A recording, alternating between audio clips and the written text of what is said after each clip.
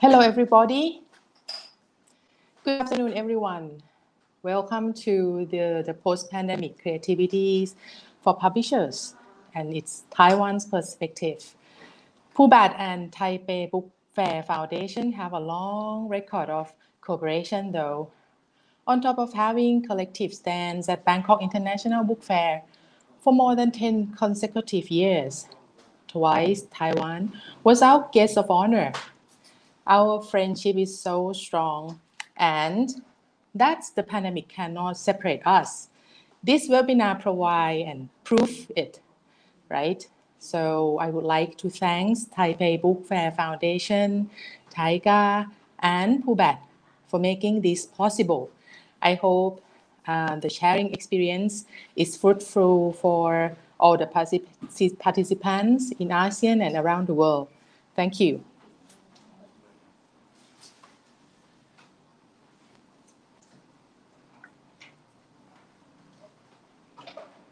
Hello, Hi. my name is Trasvin Jittidecharak, Secretary General of ASEAN Book Publisher Association. I am your MC today. It's nice to having you with us. First, I would like to um, introduce our speakers. The first person is Mr. Robert Shin Min Lin, the chairman of the Taipei Book Fair Foundation. Hi, Um, everybody. Good afternoon. Hi. Robert. Hey, thank you. Robert, Robert graduated from Fu Jen University in Business Administrative and Mar- Marketing and Finance. And he earns an MBA from the, uh, the Asian Institute of Management. Yeah. Robert is the owner of Children Publications Company Limited. He has been serving the Taiwan publishing community since the early 90s. He was the executive director of the Association of Taipei Publishers and was the director of the Publisher Association of the Republic of China. Welcome you, Robert. Thank you. And our second speaker, Leo C.S. Lee. He is an expert in creative economy and culture technology. He is a director of Content Lab.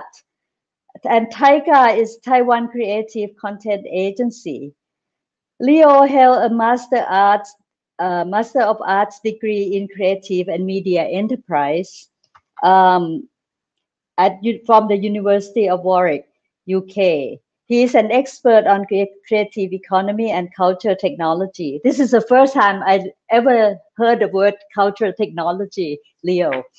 Um, before joining TAICCA, Leo was an international consultant on creative economy for several UN agencies such as UNCTAD and UNDP. Um, in a normal time, I will ask the floor to oppose both of you, but since we are online, so I think we just get started. So um, I would like to start with um, both speaker um, make the explain about their organization and their work for five minutes, and then we will go on the discussion. Should we start with Roberts first? Robert, please. Hi, good afternoon. I'm Robert Lin from Taiwan and as the chairman of the Taipei Book Fair Foundation. And it's good to have uh, this kind of online discussion with all you. And as you all might know, that uh, Taipei Book Fair has been 32 years already. So this year, unfortunately, because of the COVID-19 epidemic, so we first of all we postponed from the February to May, and unfortunately, finally canceled. But still, we have online for all the book fair activities. So I think that serves to some extent to have all the people, they, the publisher or the readers, they still can have a chance to, to know what's happening and what, what they like to do.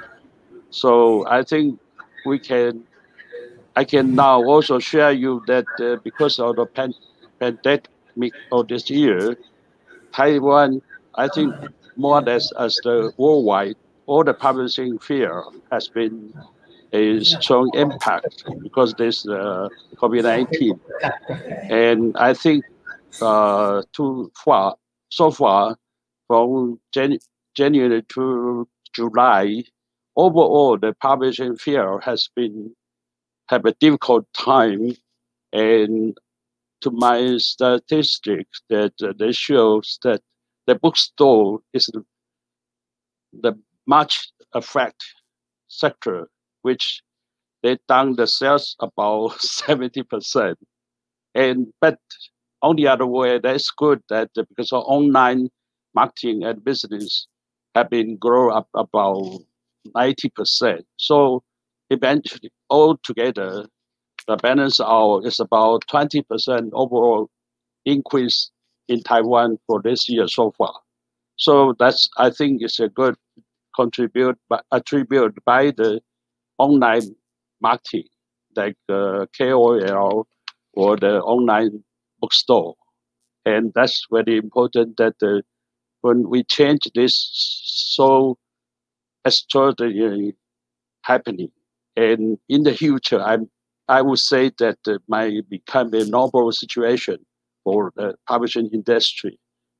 And as I am the publisher of the children books, unfortunately, children books sector has been enjoying a good result so far in case of my company, we have about 20% growth rate up to now. And I know that some other sector or the comics or the uh, young youth number or other things might have a quite big affection and they might down about 30% in terms of the bookstore sales. However, as I mentioned earlier, online marketing have been close increased by about 40%. So even though I would say that the overall still we enjoy a about 20% growth rate so far. And that's, I think, compared to other countries in the world, we really enjoy a good uh, result.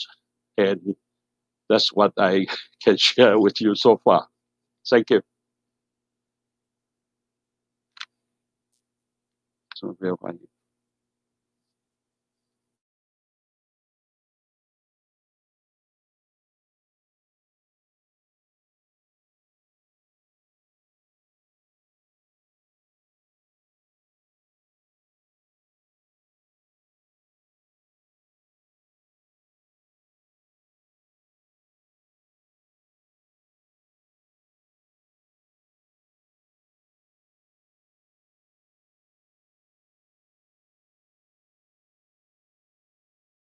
More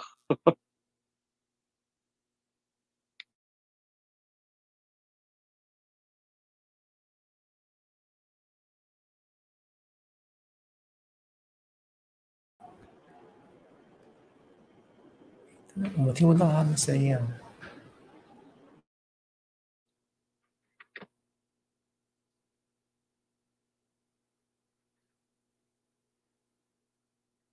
Is Road right to come back? No, we cannot Oh, hear you. Uh, did you earlier? I mentioned. Okay.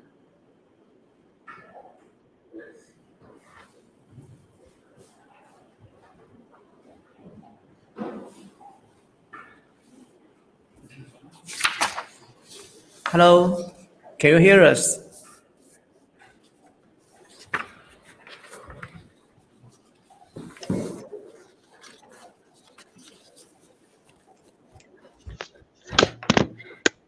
Okay. Sorry, sorry for the the problem, um, technical problems. Um, Yes, no problem. now? Very clear. Uh-huh.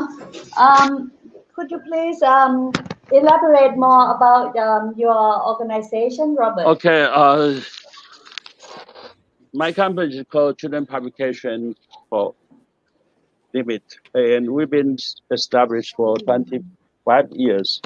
We are publishing about 20% is local creative uh, picture books, and the other 7 to 80% is worldwide. because I was uh, with the time in all international big uh, publishing companies. So I have a good relationship with all, with all the publishing uh, group worldwide, like UK or US. So, so we do have enjoy a good business with all the international big uh, children publisher.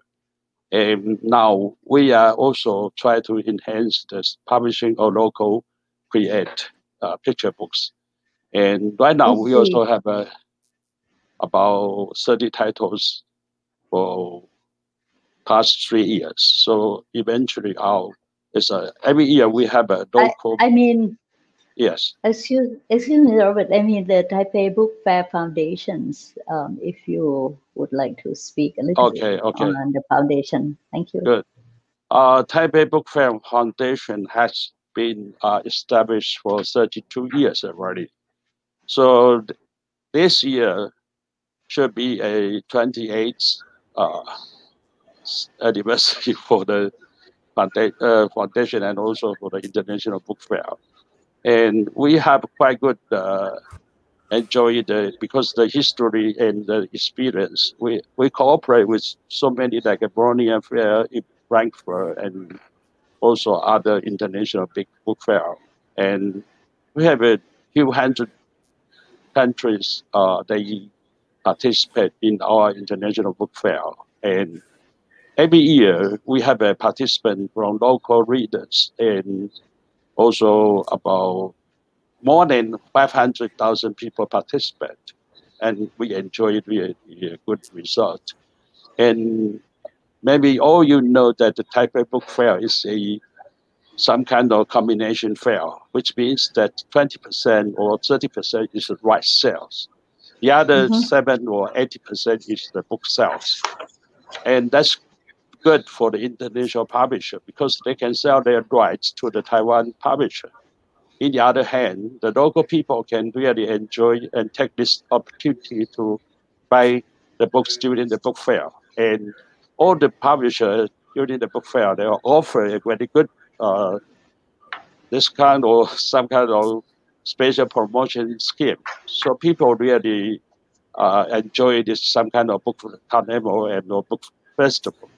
And the government also support us very much. And also the international organization like a Goethe institution from Germany or UK or Thailand also participate very actively.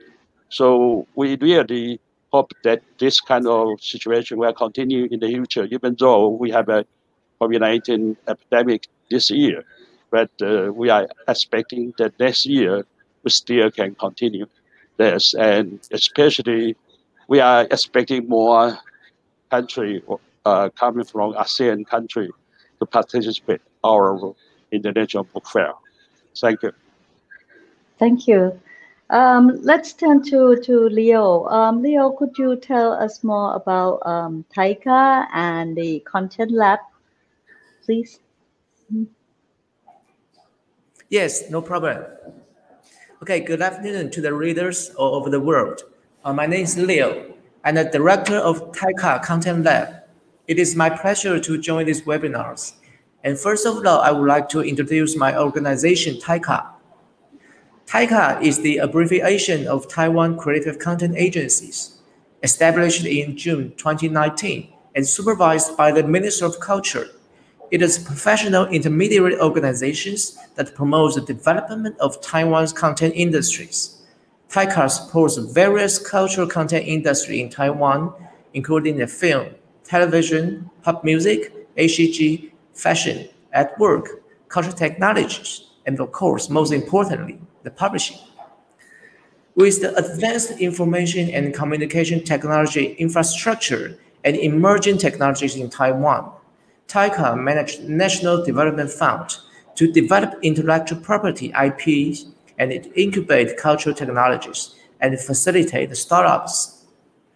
Through the international distribution channels, TAICCA strives to promote Taiwan's cultural brand in the world. Taiwan enhance Taiwan's cultural content industries and create new value for Taiwan's national brand. The department which I supervise, Content Lab, is committed to supporting content development and commercializations with local elements and local creators. The Content Lab also uses emerging technologies such as VR, AR, blockchains, 5G connectivities to accelerate the future content development and manage cultural technology hub to integrate hardware and software, explore new business models, and form international strategy alliance. From TAICCA's point of view, story is the source of cultural content, and publishing industry, of course, is at the center of the culture and content industries. Being the most democratic and free country in the Chinese-speaking world today, Taiwan enjoys the complete freedom of speech and thought, which are reflected by rich and diverse publications in the publishing industries. Creativity and stories can only be conceived on the land of freedom. This is what we believe, and I think is Taiwan's most best advantages. And after the martial art was lifted more than 30 years ago, the publishing industry in Taiwan has been booming.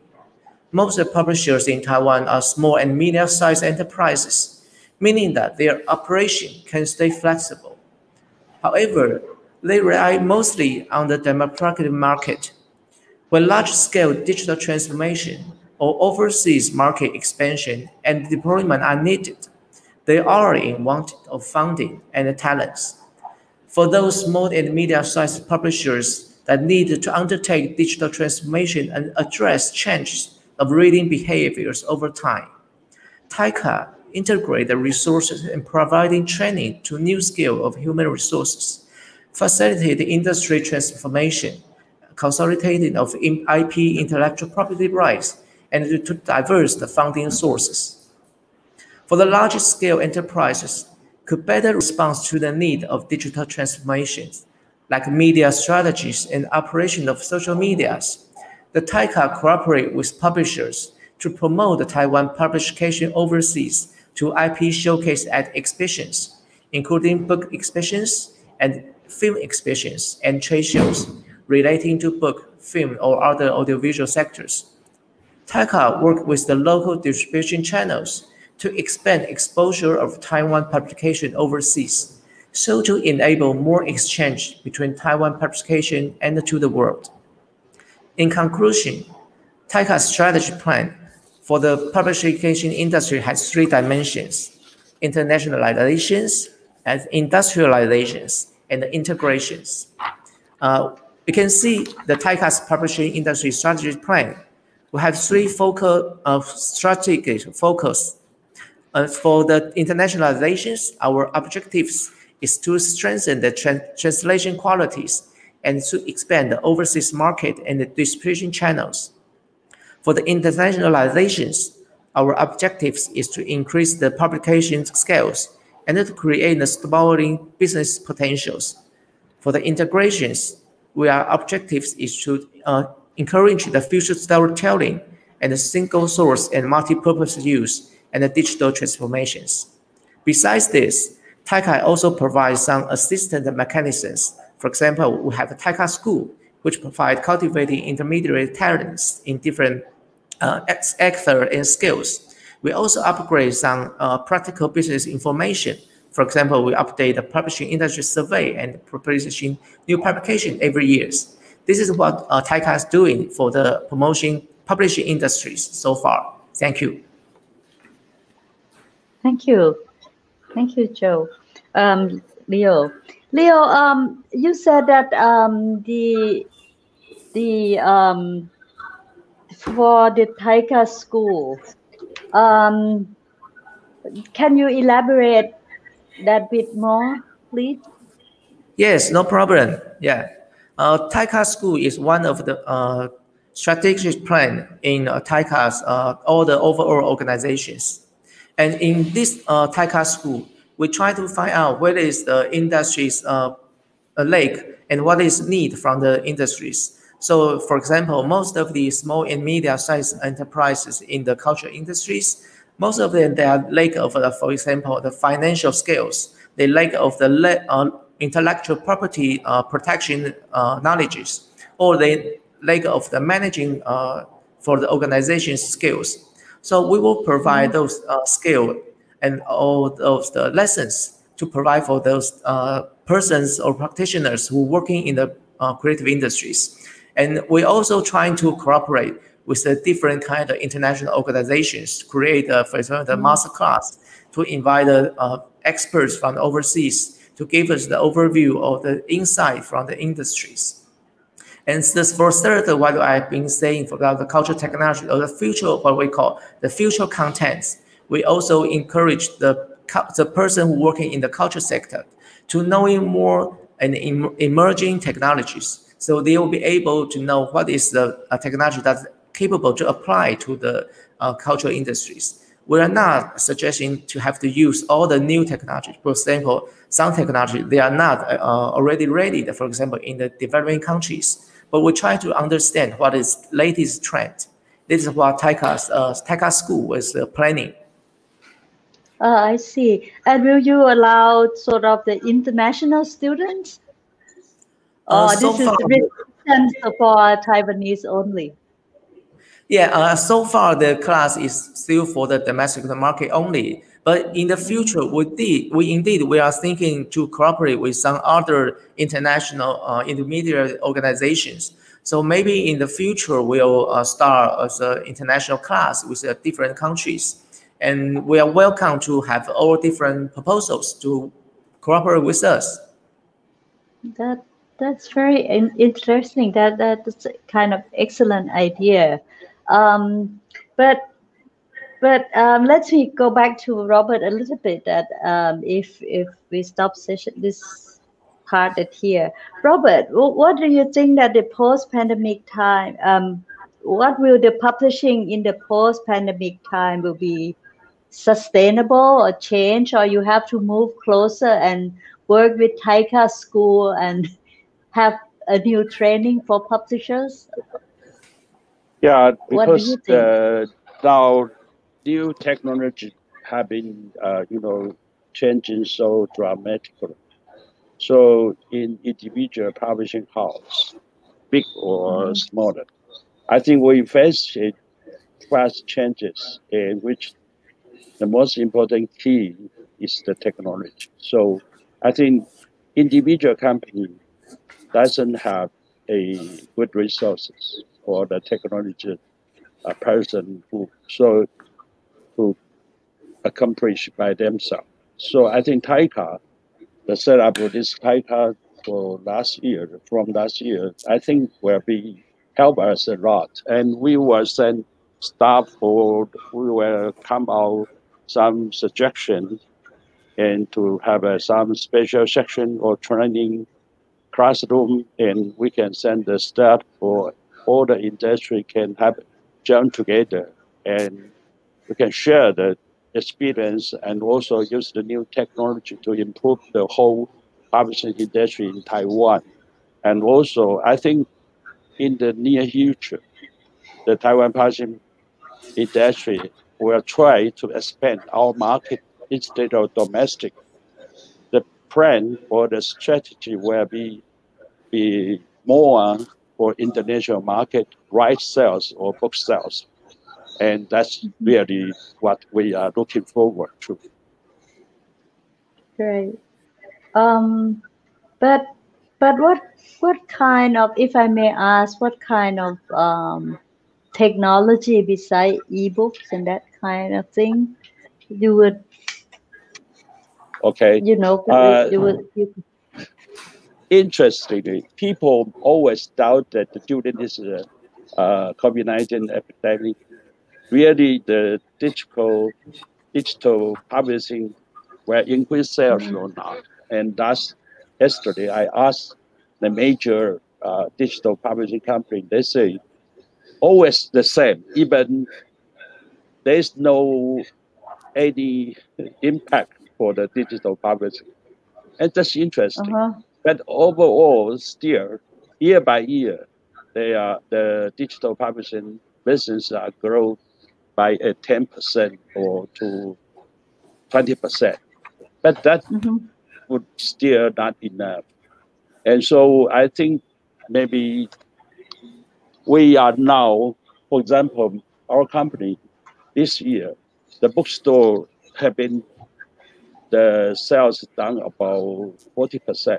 However, we have used the online marketing, for example, the uh, book.com in Taiwan, the biggest uh, online sales company. And also, very impressive is that uh, we have a KOL, which uh, they do special project for us and online, and we sell 3,000 sets within a month. And overall, from January to July, our online sales were increased, increased about 90%. So that's very uh, fortunate and very impressive. So overall, I would say most of the company in Taiwan, especially like children books or worldwide, I think in the future, use the online marketing will be become a normal and will a must. So I would suggest all the publishing house will try to improve mm-hmm. all the trend stuff on this part of the marketing area for using the new technology, try to help to expand our market or promote our new product. Thank you. I think I think we envy you. Thank you. um, um, we are Leo, yeah, um, Leo, um, and which which way do you think, um, besides what Robert just said, that technology would would serve publisher, publishers and publishing industry, in in from your experience and from your scope of work? Yes, uh, I don't know if I can. Is it possible that we can switch to one of my slides now? No.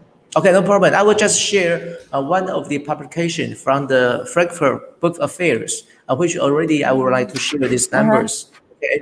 Uh, while we're talking about the technology, I think it's more than just turning the hard copy books into electronic mm-hmm. copies. It's not like that. As technology advanced, I think the mobile connection become more convenient and read, reading these things is no longer limited to the form of contents. We are encouraging technology to change how we experience the content. For example, uh, I would like to quote some numbers from the uh, latest uh, white, white paper published by the Frankfurt Book Fair. Its title is called E-Reading Experience and Global Business Opportunities. Okay, the mm -hmm. report shows the global audiobook market is established to reach 3.5 billion US dollar in 2020, with total mm-hmm. over 1 billion consumers. Okay, so that's the reason explain why the podcast is become very, very popular these days. So okay. it's not become, yeah, the text we're holding a book or become a, a platform we are reading, not become listening the contents. Okay, so you mm-hmm. have to use the technology help to change experience and change the form to experience the content, it will be the critical point uh, for us to think about the technologies. I see. Thank you. And um, but but in the developing country, you know, where the, the infrastructure is a challenge, what what kind of corporations that TAICCA would able to sort of support this exchange and then corporations.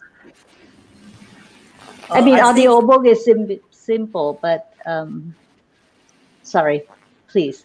Go ahead. No, no problem. Yeah, I think first thing is maybe we can have more this kind of webinars. So the TAICCA uh-huh. or the Technical Foundation or more other Taiwanese uh, organizations will be able to share our experience of how to apply the technology to the content industries. For example, uh, the Ministry of Culture of Taiwan has already launched a new uh, subsidies to encourage cultural content using the technology education sectors. And, I can give you one example. For example, uh, in I think I think in two or three years ago, there's there's an original fantasy novel from Taiwan. Its name is called The Lost World. And this, this song is originally copied to Korea, Korea upon the, upon the publication and our, our Taiwan's, Taiwan's uh, overseas, overseas distribution channels. channels. For the first, episode, episode so, so in the, in the text, text form. But in the in the second second the third, third episode, he already already put up the government. uh, uh, subsidies. So we so provide some some cooperation and funding for that. for that. So they use their content. already transferred to a VR and not only the government providing the fundings, the government also uh, cooperate with some technology companies. So with the 40 view technologies, now it becomes a theoretical uh, experience, uh, content. And this is what the Taiwanese government can do. We not only provide the fundings, we also to uh, match matching the technology company to the content original uh, providers. So to create a new form of experience, this is what Taiwanese government is doing.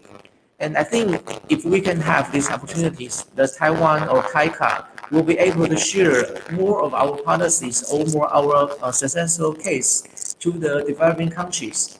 And I think we'll be very more than happy to provide this kind of technology, technical cooperations to the developing countries. This is what Taiwanese advantage. And uh, as a citizen of the world, uh, villages will be happy to provide this kind of help. Uh-huh. Great, thank you. Um, and um, for Robert, do you think what is the opportunity of Taiwan and ASEAN publishers in the forthcoming year? Yes. Uh, before that, I was at some point regarding about the deals statement earlier. I think yes, the audio book market is increasing worldwide, especially Taiwan also. But the, the most important is for children picture books or children publishing. What we did is that uh, a add on a talking pen, which use a new technology with a pen. We, when you touch the page, and the voice come out mm-hmm. by itself, and that's mm-hmm. uh, very much welcome by the parents and the kids. So I think it's a it became a very popular technology that using the talking pen or have a recording the audio songs. So the parents or the teacher or the kids can read or listen the pronunciation or the content by themselves. And that's became the most popular uh, books which we have. So this year we actually launched two series of one series is a novel graphic with the talking pen, and the other one is a non uh, fiction, which is science for age group of three to seven. And we sell, uh-huh. as I mentioned earlier, uh, six books in the site, and we sold out 3,000 sales within one month. so that's really wow. uh, help us. So I think uh-huh. uh, the government or the information uh, bureau also try to cooperate and coordinate all the manufacturing company to produce a more effective and cheaper talking pen. That's I think is very important. And I would say that in the future we can use this technology to expand the market to Thailand or Vietnam or Indonesia. And I was mm-hmm. expecting that uh, because actually in Taiwan, we also have uh, the government try very hard to have a Thai uh, pronunciation or Thai language with the local people because we have so many Thai people who married Taiwanese people and they have become the mother and they will teach either the Mandarin and also Thai language. And that's good uh-huh. because use the talking pen, they can switch whatever language they want to learn right away. And also it's very accurate and very professional pronunciation. And so I was expecting that uh, in Thailand Fair or in the future, all the ASEAN market can really share this new technology, especially for the children. You know, children is our hope and our future for the country. And right. their reading habit is very important. And getting new information by audio is also a very good way to do that and to have new knowledge, knowledge and information. Thank you. Well, we thank you. We can ask TAICCA to sponsor another workshop. Yes. Is that possible if um if um, Sure, no the book problem. fair in ASEAN? But We can TAICCA haven't organize. said it yet. Yes, of course. organize this of course, right? on this part of the, the topic. I, I think that that will be exciting. Um, let's discuss it at other time, and I Yes. mean, for ABPA Pubat, you That's know, right, we'll yeah. be willing to sort of organize and help and display all this new audio technology to Mm-hmm. our members, and um, um, you know, if if the costing is not too expensive because in our region it's uh, price sensitive uh, we are price yeah. sensitive uh, consumer and parents still have to struggle after this post pandemic but we want right. children to have all the opportunities as much as possible too okay um I think our time is sort of up, but um, I would like to ask both of you to say um, one or two, one minute each. That what is your what is what is your thinking about ASEAN and corporations? Okay, I think as you you know that I am I am graduate from Asian Institute of Management, so I have many friends and classmates all around the Thailand, uh, Indonesia, and Philippines, and other countries, India, or Pakistan. So we can have uh, actually this uh, regional cooperation in terms of publishing or the book fair, and that's where we, we can enjoy Yes, because to extent we have a more or less the same uh, development history and also the living situation or condition or, or the background. To some extent, we can share the same culture and the living habits. So this is a, the best uh, background or information, uh, the information which we can share. So I think I would expect that uh, the TIB or in the future, the regional, we can have a federation or some kind of union for all the ASEAN people, including Taiwan, and we can exchange or participate each country's international book fair, and we share all the technology or the marketing experience or publishing experience, and that's where benefit all the parties. Mm-hmm. Thank you. Thank you. Thank you. What about you, Leo? Yes, I, I think I totally agree with the Robert's uh, point of view, and I believe this uh, alliance was once this kind of alliance was formed, and it will be really help to encourage the more uh, exchange uh, among all the countries uh, in the Southeast Asian or in the Asian uh, countries. Yeah, and we will be very happy to be led by the uh, Taipei Book Exhibition Bishop Foundations, and from TAICCA's point of view, we can provide for example, like the TAICCA School, we can provide this uh, talent uh, online school, or from us, we can also provide the technical cooperation or technical support to encourage or to help the ASEAN's uh, uh, publishing industries peoples to how to apply to the new technologies in the, in the futures. This is what TAICCA probably can do and, and probably can help in the futures. That's great. Thank you. Then you know, actually, we have no questions, but I will. What I will be doing is that I will send both of you um, the application form uh, for associate member of ASEAN Book Publisher Association. You can be our Thank you. associate members and get all the information and contacts from us. I think that how to start the cooperation. That will be very nice. We will That's get, wonderful, we will yeah. be work work closer to each Yeah. other. Yeah. Yes, that'll be very nice. Uh-huh. So I'm very gratitude that uh, you can start initiate this kind of online discussion on take on this uh, online discussion and uh, meetings. Thank you very much.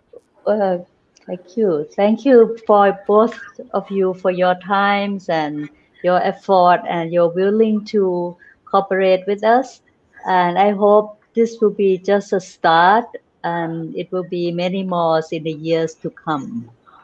But since there's no question, I think we close our webinar now. And until the next time. Thank you very Okay, much. thank you. And you. hope to see Thank you in you. Taipei now next year. or I, This year. See you I hope so. or I hope so. anytime. anytime, right? Uh-huh. Okay. Thank you. Bye bye. Bye-bye. Bye.